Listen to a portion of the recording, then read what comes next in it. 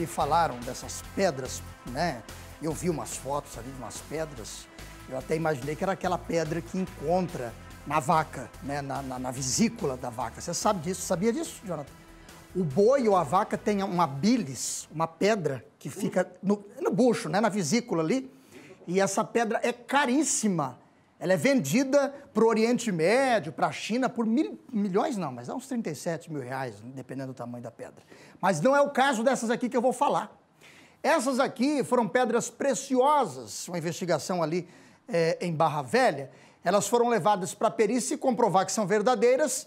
Ah, o, o, cara está enrolado, porque não tinha nenhuma documentação que comprovava, né? Ele estava dizendo que essas pedras ele encontrou na rua, né?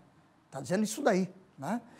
Ah, o dono das pedras poderá responder aí pelo crime de usurpação mineral. A Kelly foi lá trazer esse material para nós.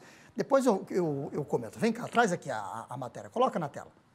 400 gramas de rubis brutos. Elas estavam na casa de um homem em Barra Velha e ele foi flagrado pela Polícia Federal, que já estava de olho nele. É uma investigação que já vinha acontecendo desde o ano passado quando a Polícia Federal recebeu algumas denúncias de que haveria comércio de, de pedras preciosas nesses sites de comércio eletrônico e que essas pedras estariam sendo vendidas e que elas não tinham uma origem lícita, não tinham nota fiscal, não tinham autorização para serem extraídas. As supostas pedras valiosas foram apreendidas e agora estão com a perícia da Polícia Federal em Florianópolis. Lá eles irão avaliar se são verdadeiras e o valor de mercado delas. A gente vai verificar se elas realmente são pedras preciosas, se elas forem pedras preciosas, qual é o valor de mercado delas e verificar se, em caso de sendo pedras preciosas, se o proprietário tinha autorização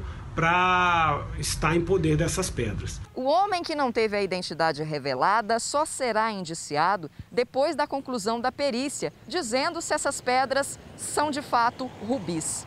Aí sim ele vai responder pelo crime de usurpação mineral, que é quando alguém explora a matéria-prima da União sem ter autorização para isso. De qualquer forma, ele já foi ouvido pelo delegado, mas a história que ele disse não convenceu. A polícia acredita que ele estava sim explorando o solo sem ter permissão para fazer essa lavra.